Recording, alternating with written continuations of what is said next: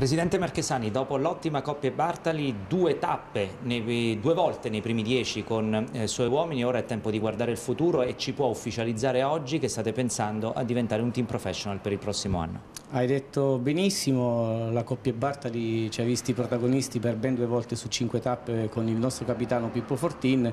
e bisogna rimarcare anche il fatto di due belle fughe fatte, una alla prima tappa con Davide Pacchiardo e, e all'ultima tappa con Ivan Balikin, il quale stato protagonista anche della vittoria dei traguardi volanti, quindi questo è stato di buon auspicio per il prossimo futuro. Come hai detto tu è già stata annunciata presso la Gazzetta dello Sport dal nostro nuovo team manager Roberto Damiani, noi stiamo già lavorando appunto per il 2017 affinché questo team diventi da Continental ad un team professional. Percentuali che ci può dare oggi? Beh, ad oggi diciamo che le percentuali sono abbastanza alte in quanto io già